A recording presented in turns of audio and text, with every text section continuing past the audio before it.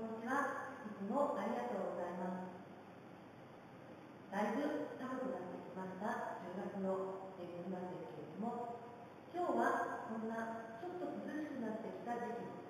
行うヨガの時におすすめのグッズを一つご紹介したいと思います。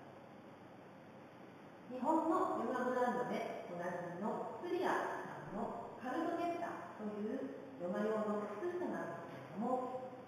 今、私こちらに履いております。紫色のこの靴下ですね。よくインターネットのショップさんなどでのサイトの写真ですと、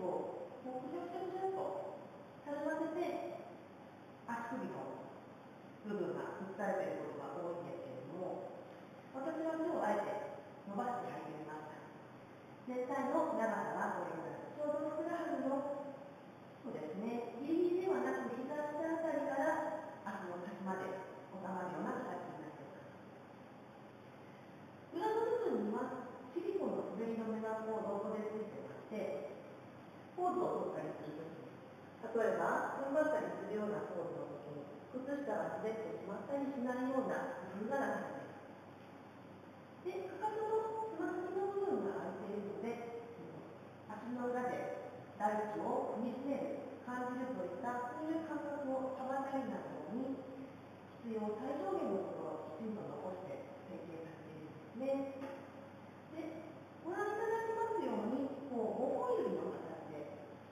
5本の指が一つ一つ穴に入るような感じになっているんですけれども、こう足指の間を開くのが苦手な方、5本指靴下とかちょっと抵抗のある方というのは着用されるときに最初違和感があるでですね、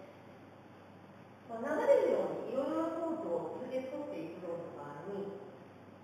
靴下自体はマットの上で滑ることはないんですけれども、結局靴下と足の皮膚の表面の滑りという部分が結構、この間の方には滑り止めっていうのはないので、ちょっと靴下が足からずれる感じ、そういうのを感じられる方は感じられるかもしれない。これはスポーツをするときに、お一人お一人がどういう感じで、そ体重をかけていたりだとか、重心を持ってきたりだとか、そういうことにも関わってくるのかなっていうような気がします。で、こちらのお話の続きですね。ふくらはぎまで伸ばして今履いてます。で、口元の部分結構しっかり効いてまして、こう動いてる間にこれがずり落ちてしまうということはほぼ心配ないと思います。ただ、落ちないようにっていう設計の方が多分重要視されているので、ちょっとふくらはぎが太めの、私がそうなんですけれども、ふくらはぎが太めの私にとっては、もう一つのレッスンが終わった後脱いでみると、あ、音楽がちょっとついたかな、みたいな、そういうところは少しあるかなというふうに思いますね。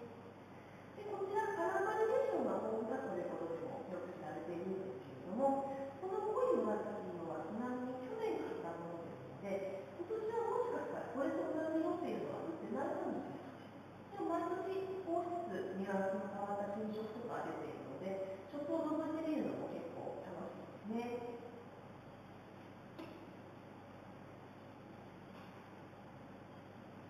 はい、以上、クリアのカルトゲッター、私の着用感、感想をお話しいたしました。去年買ったものということ、先ほどお話ししたんですけれども、去年の冬から今年の年の初頭ですね、暖かくなる時期までずっと愛用してました。洗濯も何度も繰り返していますが、シリコンの滑り止めが取れてしまったり、傷んでしまったりですとか、紐が抜けてしまったり、そういったことはやはりくられません。さすがに、しっかりと作られているなという印象です。もしよろしければ、あなたも